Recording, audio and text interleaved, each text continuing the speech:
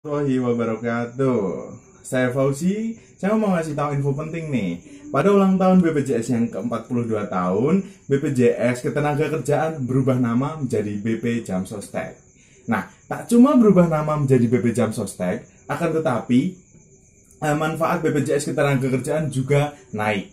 Nah, akan tetapi yang paling penting iurannya tetap sama. Mantap kan? Jadi, pastikan kamu terdaftar di program BP Jam Sostek. Calon pekerja sadar Jam Sostek.